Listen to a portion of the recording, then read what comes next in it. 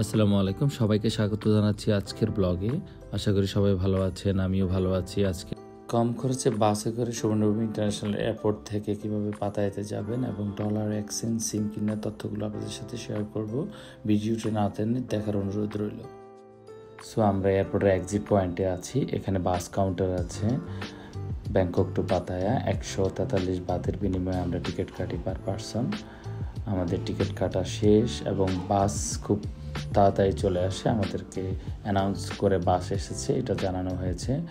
আমরা exit point দিয়ে বের হয়ে যাচ্ছি। আর একটা গুরুত্বপূর্ণ বিষয়, আপনারা চাইলে ট্যাক্সির মাধ্যমে ভ্রমণ করতে পারেন। সতেরোশো থেকে দুই হাজার বাদ নিবে।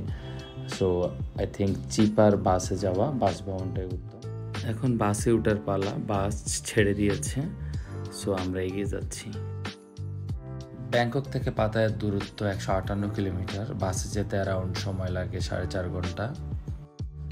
থাইল্যান্ডের হাইওয়েগুলো একদম সাজানো গোছানো, পরিষ্কার পরিচ্ছন্ন এবং হাইওয়েতে হর্ন নেই বললেই চলে। শুধুমাত্র টোল প্লাজায় দাঁড়িয়ে আপনাকে টোল দিতে হবে। সেই সাথে আরেকটা বিষয় যোগ করছি, থাইল্যান্ডের হাইওয়েতে আপনাকে যদি গাড়ি চালাতে হয় অবশ্যই আপনাকে টোল দিতে হবে। গভর্নমেন্ট প্রত্যেকটা গাড়ি থেকে টোল নেয়।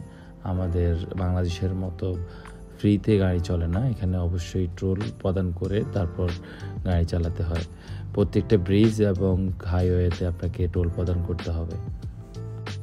আমরা থাইল্যান্ডে পৌঁছাই একটা পঁয়তাল্লিশ মিনিটে এবং আমাদের বাস টিকিট কাটার পর বাস ছাড়ে তিনটা বাজে, চার ঘণ্টা জার্নি, সাতটা বাজে পৌঁছাবো আশা করছি।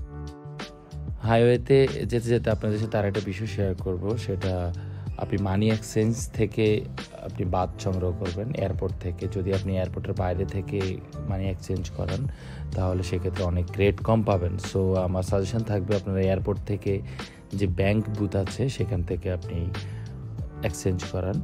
আর সিম অবশ্যই আপনি এয়ারপোর্ট থেকে নামার পর পরেই আপনি বুথ পাবেন। সেখান থেকে আপনি আপনার পাসপোর্ট দেখিয়ে তিনশো বাতের বিনিময়ে সিম কিনতে পারবেন।